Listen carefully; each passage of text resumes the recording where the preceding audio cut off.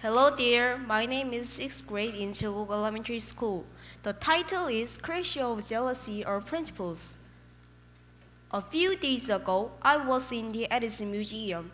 He surely is the king of inventions. He made so many things we use today. He has 1,093 patents. That means he has uh, two inventions in every month for his entire life.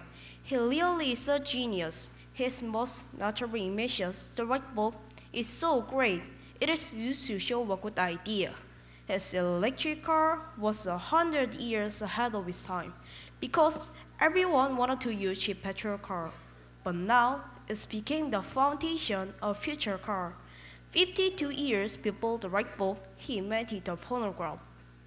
The MP3 players, radio, and TV mix sound are all thanks to the phonograph. Isn't it amazing? To invent all of this, it was impossible for him to do it alone. That's right. Edison always had a sponsor, and he also had a very important partner. A tall, well-dressed, and handsome genius electrical engineer. His name was Nikola Tesla. Sadly, they had a big disagreement. Tesla demanded using AC power, but Edison sued by his DC power. In the end, Tesla gave up.